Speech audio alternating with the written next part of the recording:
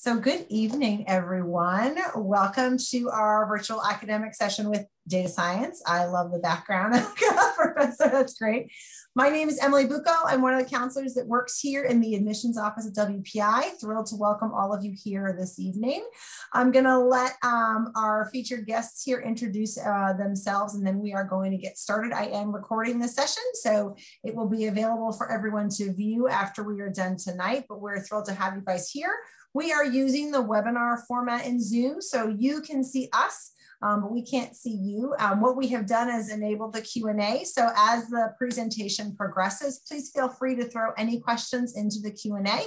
We've got a whole panel of people who can help answer those questions. The goal is to finish up somewhere around 7.45, um, but certainly plenty of time for Q&A uh, throughout the, the presentation. So just want to make sure everyone knows that.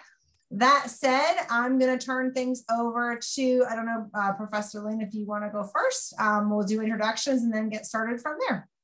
Sure. Yeah, I can introduce uh, first and then we can kind of hop over. Uh, hi, everyone. My name is Lane Harrison. I'm an associate professor uh, in data science and computer science here at WPI. I've been here maybe six years, I think.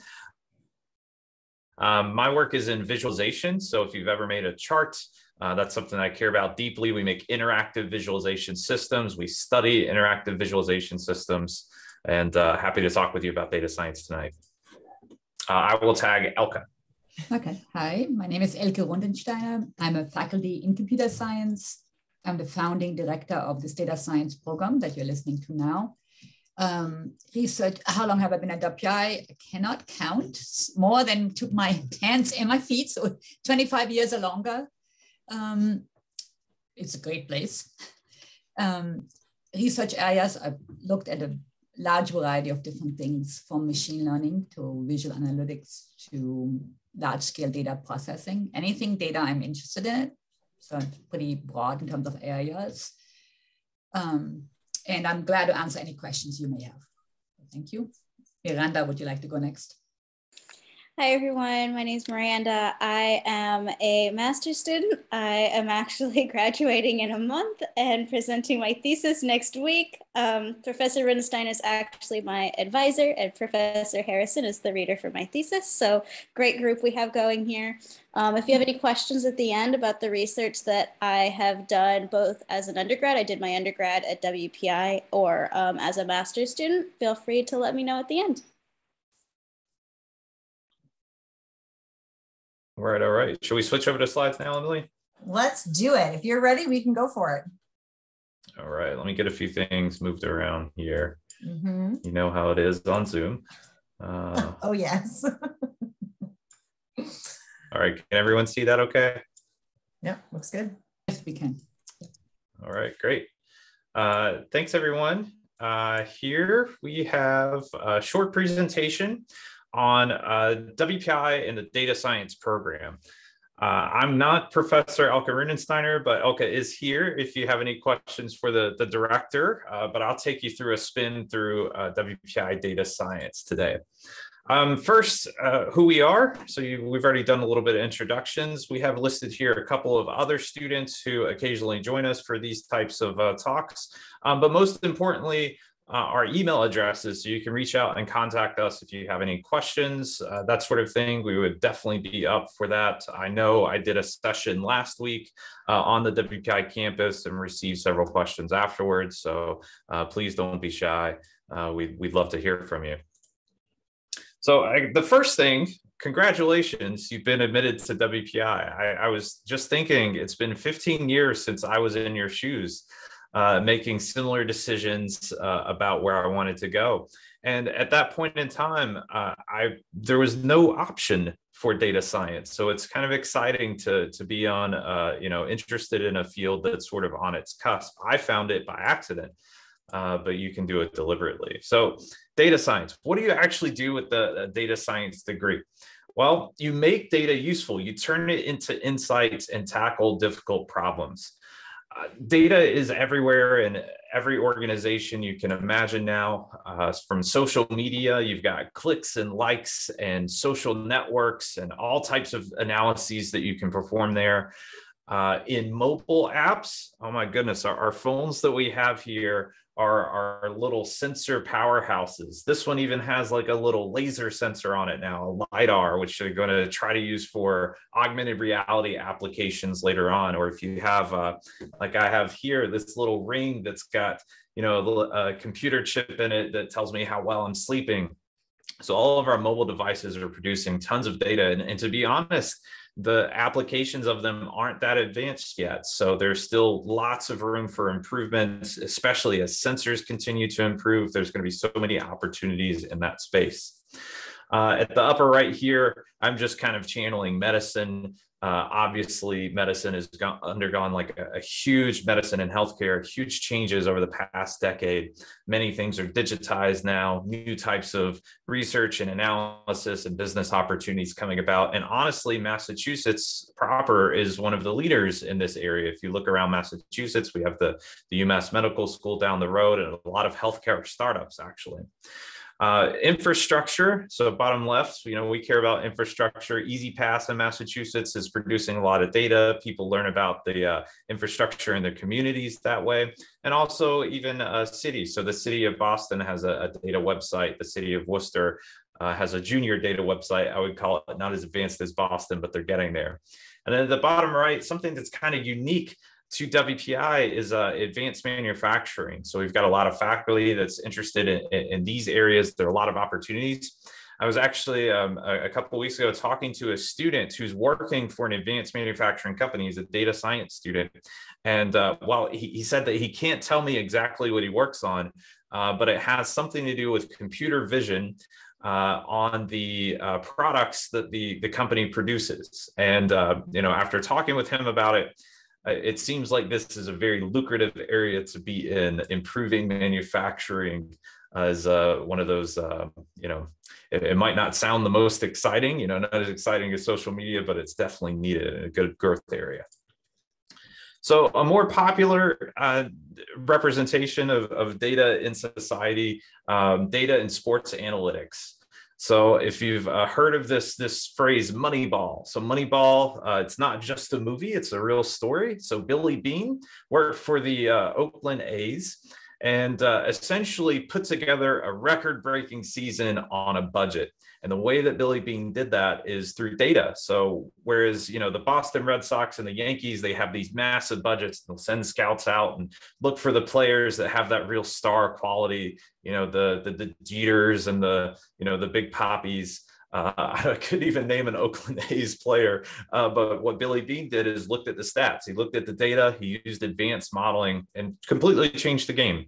Uh, so Moneyball been the subject of a book, uh, of a movie, uh, and honestly inspired a lot of work uh, in sports analytics since then. I know we have some WPI students. I don't know if we can say what team, but there's a major sports team talking to the the students about working on uh, data analytics projects with them. And at the lower level, you have things like the the Woo Sox in town uh, that are also trying to get into that game. So you know, if we haven't convinced you already, who needs data scientists? It, it really is everyone. So uh, you solve problems that would otherwise remain on, unsolved or only using intuition. So a lot of times in, in business and in industry, um, people are still kind of solving problems based on their, their gut, what they're seeing in you know reports and information. Uh, but this can be done, it can be made uh, more rigorous through through data or at least backed up and justified. Uh, one example that we see is in local healthcare. So I've talked to local health healthcare companies, so not really big hospital systems, but local healthcare in Massachusetts. Uh, they really struggle to make use of their case claims data. Uh, that they're using to, to uh, manage treatment plans with their patients. So that's like a, a smaller opportunity, but they, they're in dire need of data scientists to help them do this well. Uh, you know, we, we always care. I remember 15 years ago, I was thinking about economic outlook. Will I be able to go to college and actually get a job that, that makes, you know, some sort of decent salary? Uh, so, so data science, um, you know, very nice statistics here. The median base salary, not the average, I don't want to do a you know a lecture on what the median is versus what the average is, but the median salary here, one hundred eight thousand dollars, is uh, pretty nice. So if you can reach that six figure level, uh, especially in a few years after starting out. So as a student, uh, you know our students kind of uh, grow, develop their identity as data scientists, specialize in certain types of tools, maybe certain types of big data technologies. Uh, you can really move laterally throughout the industry. Um, I can remember a couple of students in my classes that are now working at places like LinkedIn, at Twitter, uh, and they're, they're certainly within that range. Um, kind of switching over to the program. So how do we make this all work uh, here at WPI? So uh, data science uh, is a new and emerging area, really is interdisciplinary. So uh, the industry has recognized that you know you can't just be a computer scientist because computer scientists honestly don't know that much math and statistics. We're pretty good at it. I'm saying we because I'm a computer scientist that had to learn math and stats along the way. We're pretty good at it, but we're not as good as the people in the math and stats department. And that similarly goes, you know, can we talk about the value of the applications or the, the thing that we're coding on for, for weeks on end? Uh, so there's really an interdisciplinary effort. So, so we need computing, uh, and we need math statistics and we need uh, to be able to talk about the value of our work from a business perspective. So uh, WPI does have a, a, history of data science. So we're looking back eight years ago. Uh, we developed the, the master's degree. We had one of the first PhD programs in the, the country. That was one of the things that brought me here to WPI. Seeing that, I was like, oh, they move fast. Uh, so one of the first PhDs in data science uh, in the entire US. And then we started work on the, uh, the undergraduate degree. Uh, so that's something that we released in 2020. And uh, we've got our first batch of students uh, who have already gone through uh, and begun to graduate. So uh, unique things about the WPI program in general. So one thing you'll uh, you definitely hear of during orientation are things like seven week terms. So a little bit more rapid, uh, but in depth, you focus on only three courses at a time instead of the typical five, uh, which can be nice. Uh, wide selection of courses. It's worth mentioning that WPI doesn't have prerequisites. So if you feel comfortable uh, in your freshman year taking a senior level class, you can absolutely do that. And I have had that happen. I've had, usually teach senior level classes, and I've had some freshmen come in that were very comfortable with web programming, and they just started right away in uh, one of my courses and did really well. Uh, project-based courses. So this is another thing that I do as a visualization person. You know, it helps to talk about the theory, but people don't want to learn about color theory and perception. They want to make visualizations. So one of the things we do in our, our courses is uh, we make sure that they're project-based so that students have artifacts that they could put on their resume, uh, like an interactive visualization system in my case, uh, so that that can help them be more competitive in the, the job market and give them their experience, uh, you know, that they would like to, to specialize in. Uh, frequent course offerings. So we're going to offer uh, especially data science courses very frequently so you can get started. Uh, and then the uh, the projects and the, the BSMS program. So we'll talk about projects in a moment, but the BSMS program uh, is very popular for a lot of students to go through in four years and in their fifth year pick, pick up their masters. Some students even try to squeeze it in in four years if they have a lot of AP credits or four and a half. Um, that's certainly possible. We can answer those questions as well. Uh, so, so educational outcomes. So we've hinted on this, but to really drive it home, interdisciplinary skills. So we need to, to know how to do analytics. Uh, we need to know how to do that through computing. So it's not just you know through equations, but we need to be able to make that computational so it can scale. Uh, we also need to be, able to uh, communicate our results and uh, talk about them from a, a business perspective. Uh, so in terms of data science specifically, we want to, to be able to use uh, the technology that industry is actually using. Uh, so that's one of the things that you'll see in data science courses. You're going to be using things like R and Python, which are industry standard, uh, as well as uh, concepts and sort of state of the art, because we are a research institution as well. Uh, we not only teach the undergraduates, but we also, uh, a lot of the professors have a role in actually shaping the state of the art publishing and research conference about what it's going to look like in the, the next 10, 20 years. and then, of course, the business know-how. So this is not meant to uh, to scare you, or, maybe just a little bit. Um, it, it, we want to scare you with how many courses there are. Uh, so this is the the flow chart for uh, data science majors. So there are a lot of options and paths through the program. Uh, that's what you can take away here, and there are a lot a lot of things that you could do. So looking down here, we can see biovisualization. That's one thing that I teach. Uh, here from the business perspective, user experience design. These are some of the you know interesting 4,000 level courses. Uh, here's a great one: data analytics and statistical learning. But if we just jump up in the middle, you know, probability for applications. That's going to be something that uh, all data science students are going to need to to take and learn things like business data management, data management, talking about that from a business perspective, so important, as well as things like, uh, you know, database management, learning that from the, the more theoretical and practical perspective.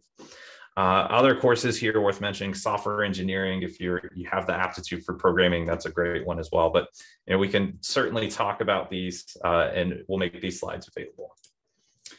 Uh, a couple of additional advanced courses, data access and management, software engineering, we already mentioned, uh, different types of statistical and machine learning. Uh, so if you want to run the, the deep neural networks, that's certainly a part of the WPI curriculum. Uh, different aspects of artificial intelligence. We have courses specifically on AI, uh, business modeling and prediction. So using maybe simpler models, but using them in a business setting. So if you have to explain a linear regression to the, the CEO, uh, that would be uh, sort of around that line. And the visual analytics, something more like I would do is you know, making all these things visual. Ah, so, uh, you know, MQP projects, one of the, the crowning features of WPI. Uh, next week is our MQP project presentation day. I'm excited about that. Uh, faculty advisors work with teams of three to four students. This is where you get a lot of one-on-one interaction with a, a, professor or even an organization, uh, and you work on a year-long project. So uh, my project started actually last summer, some of them. Uh, students wanted to, to start their projects then. So we work on, uh, in my case, research projects. In a, the case of an organization, you might work on an organization's data set. Sometimes there are, you know, NDAs involved, but if there are NDAs involved, that means you're working on organization data that can lead to job opportunities. Uh, so there's uh, a lot to the MQP projects. Um, it can be, you know, fun to do this. Uh, it's also challenging in a professional sense because you're working with a team uh, and you're really working on something uh, that's going to kind of be a capstone to your experiences where you're taking all of the things that you learned in your major and applying them on a real world project. A couple of project sponsors. Um, you may see some familiar names here. Kayak, you know, the, the travel search website, Pfizer, uh, definitely popular these days, uh, and, and several others here. These are folks that have uh, sponsored WPI projects uh, at the um, uh, in data science at the graduate and undergraduate levels.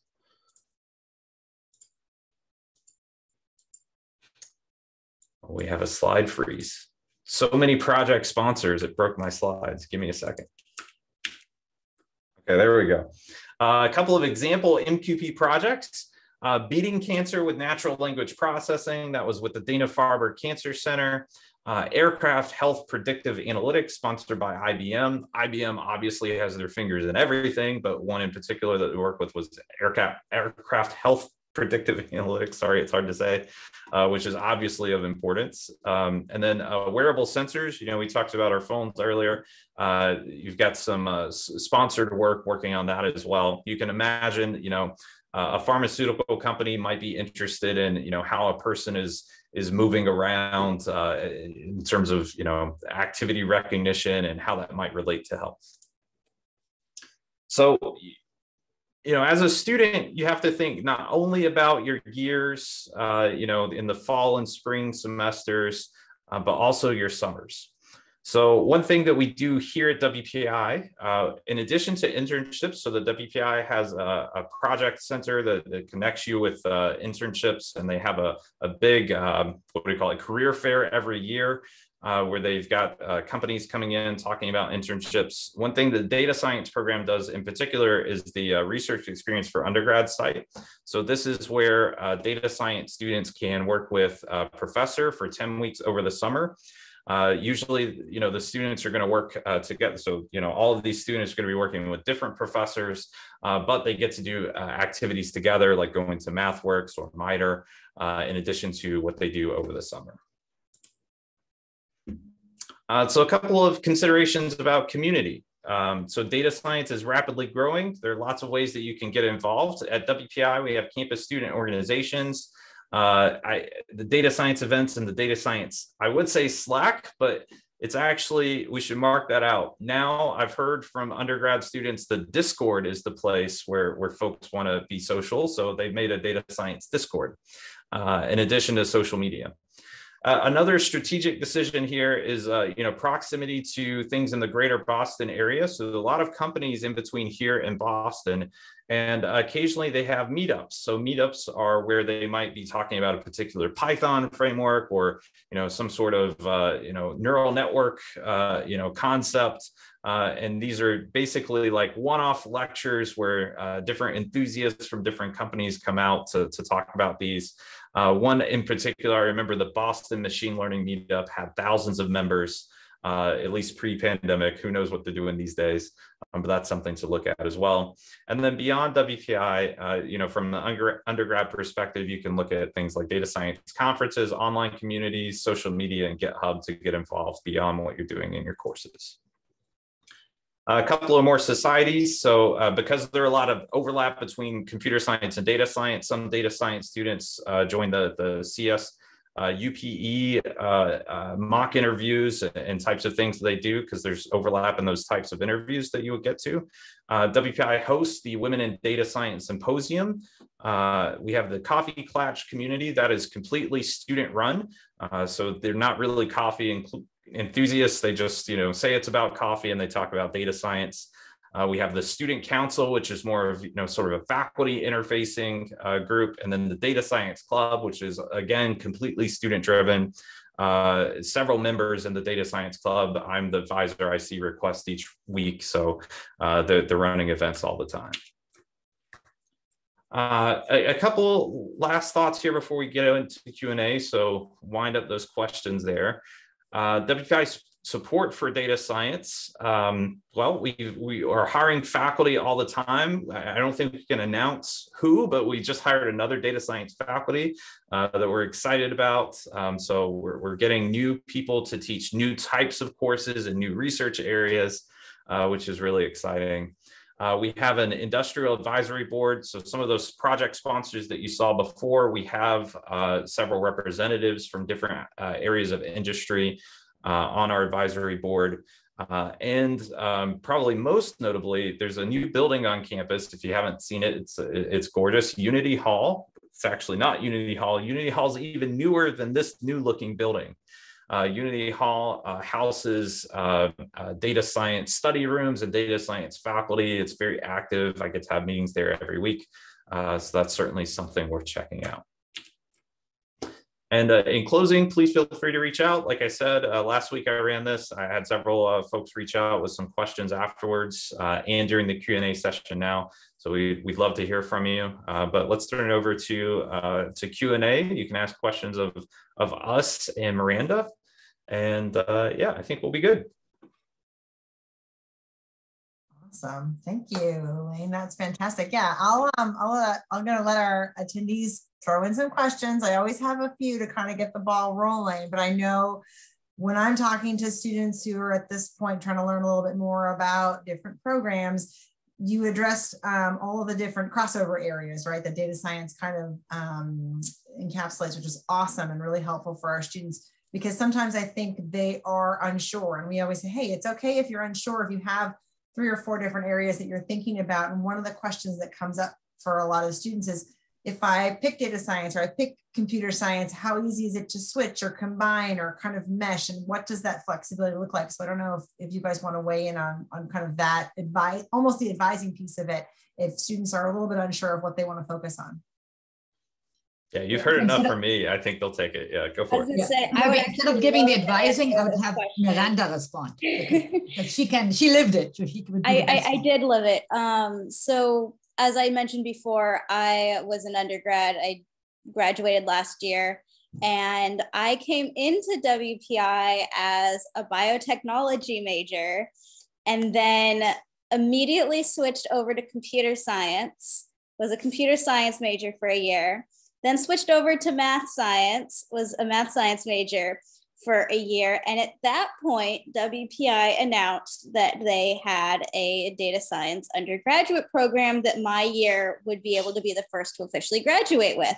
And I said, well, that's fantastic. I've basically built myself a data science degree um, unofficially. So I just have to take a few more classes. Here I am, a senior, taking all of the data science 1000 classes um, to fulfill my requirements.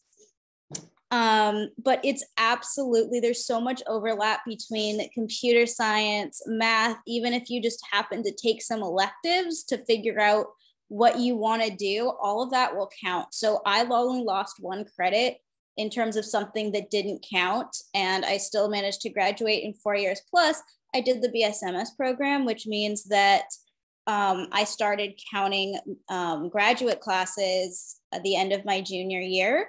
Um, and I also work a full time job. So my fifth year, I work full time and I'm finishing the master's. So it's entirely possible that to like not know what you want to do, do other things, and still be able to graduate on time. Absolutely. Awesome. I know that is usually a really huge relief for students to hear because they get a little nervous that they have to commit right away. But I we try to say there's a lot of crossover, so it's awesome to hear that experience. Um, Miranda, I'm actually going to pick on you for another question if you have a moment, but just to talk more about some, you guys talk a lot about the projects, and that's a popular question, as you know. So you gave some awesome examples. I don't know, uh, Miranda, if you want to share some of the things that you're working on for projects or have done. Sure. So I've spent the last two years working on machine learning for mental health, uh, which is a project that Professor Rundensteiner has led and advised. Um, and this started with a data collection that I did um, as a senior during my um, MQP or major qualifying project.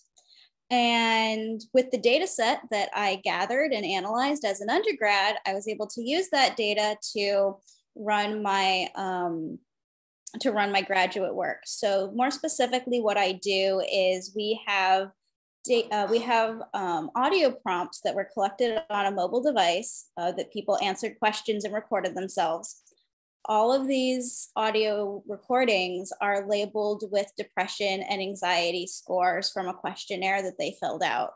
And what we're doing is we're using um, deep learning models. It, um, it's a combination of text learning models and um, audio learning models to do um, classification to determine if we can use these audio prompts to predict whether or not someone's depressed or anxious. Um, so that is what I'm working on. And there's been prior research. This is probably the fifth or sixth year of this project growing. It started like before I even came to WPI, and it's been just been growing because you know mental health is so important. And so this is actually a really interesting project to see um, something in a completely like health field getting combined with data science and deep learning and machine learning models and visualization and analytics. So um, it's very interesting. And i know different members on our team have done things with like text and call logs and other data that we collected in demographics and stuff like that. So there's so many different areas that you can go with data science, even if you think it's so far out of data science, it's it can probably be involved somehow. Awesome. I would say I would say Miranda is like the perfect example of a student that likes different things, a variety of different things, so that she doesn't want to only focus math or only computation, everything computation. So it, it's an example why data science is kind of lies at the intersection of these different fields and let you learn enough about them and then apply them for a goal. And so that's exactly what Miranda is doing. So I think it kind of demonstrates to you that if you want to do something practical, but also leverage enough computational skills and build those up, but know the foundation, the math foundation, that when you make a recommendation or a decision, that you can say, this is well founded rather than, yeah, that tool does this, but I don't know. Can I trust it or not trust it? You have to have some foundation in the statistics to be able to do that reliably. So, so Miranda's kind of demonstrating to you that sweet spot where she sits that has all the different type of skills coming together. And then answer, answering, aiming to answer impactful questions, actual questions that matter. Yeah. Yeah, that's excellent. Thank you for sharing that, Miranda. I will throw it back out there to our friends who are in attendance here. If you guys have any questions, feel free to drop them right in the Q&A. You've got a wealth of knowledge here to answer all of the questions that you might be thinking about. Um, the other question that I can put out there that I think sometimes comes up too is for students, um, you know, worrying about, is there any, you know, is there any additional prep work that if they're thinking something in data science and you, you talk about kind of that that math foundation, is there any additional prep work that they need prior to coming to WPI? We know in the admissions process, we want them to be, you know, at least through pre-calculus, maybe they've done calculus, right? But in terms of them coming in here, outside of that, is there anything else that they really need? We always say, no, we're going to teach you a lot of it, but are there any recommendations from your end that maybe you would suggest?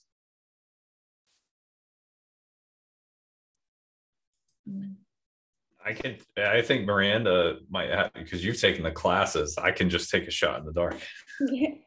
sure. So, in addition to you know changing my major a bunch of times and kind of figuring out what I wanted to do, I didn't come in with a lot of AP credits. Um, and I started in Calc 1 and I started in the basic, um, like the introduction to computer science class.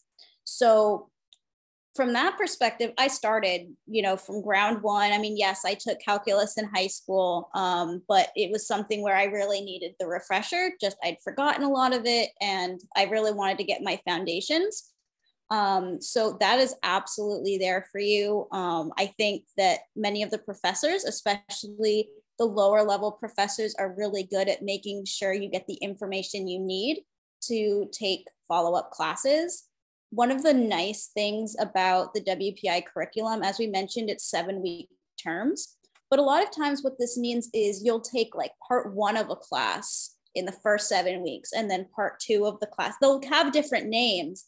Um, but for example, I took introduction to um, computer science in a term, and then the next term I took object oriented programming. So I used that basic knowledge that I took that I learned in the first seven weeks and applied it to an actual like language like Java in the second um, week. And the same goes for the calculus classes or statistics or linear algebra um, and all of those classes. So I definitely think, you know, you were obviously accepted to WPI and WPI sees great potential in all of you. Um, so I, you've already done great work. Um, and so really, even if you aren't starting in calculus for or had, you know you don't have any computer science knowledge you will absolutely be able you'll be okay and you'll be able to excel in a data science degree as i have.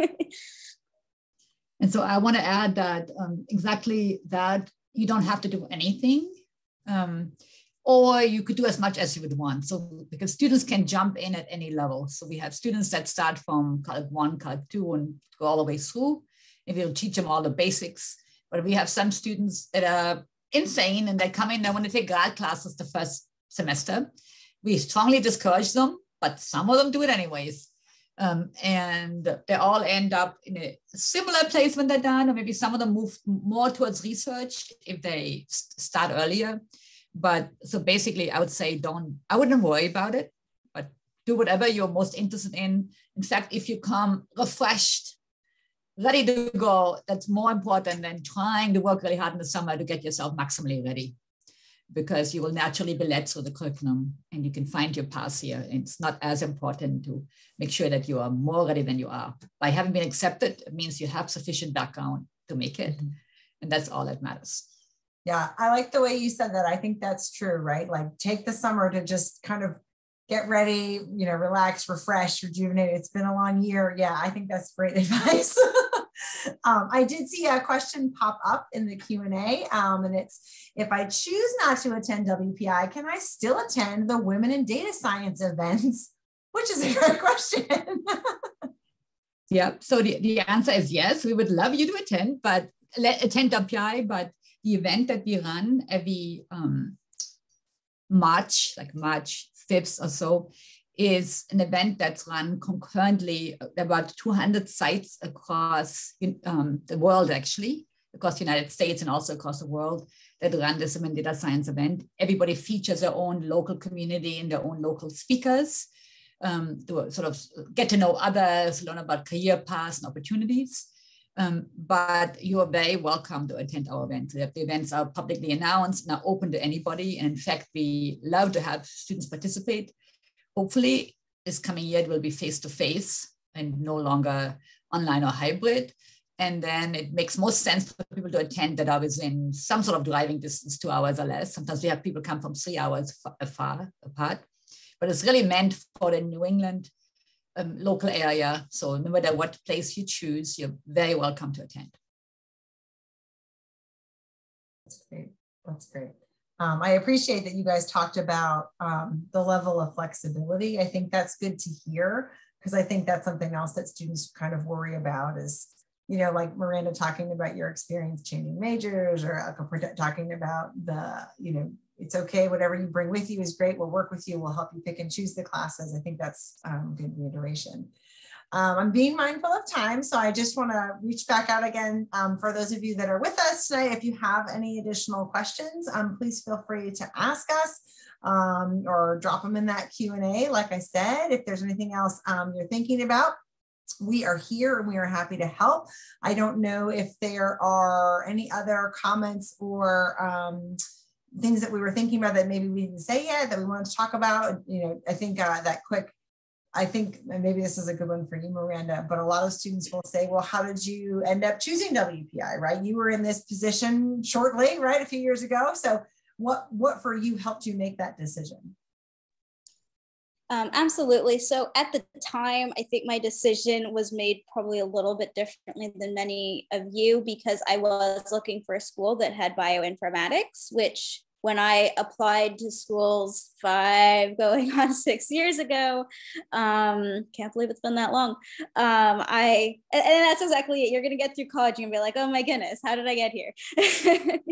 um, but I was looking for a school that had bioinformatics, and at the time there was a small number that had really good bioinformatics programs, and that just kind of spiraled in, spiraled into the fact that WPI is a great um, STEM school and has just a variety of classes and electives that you can take. And so it gave me the opportunity to, you know, take different classes and discover what it was that I wanted to do.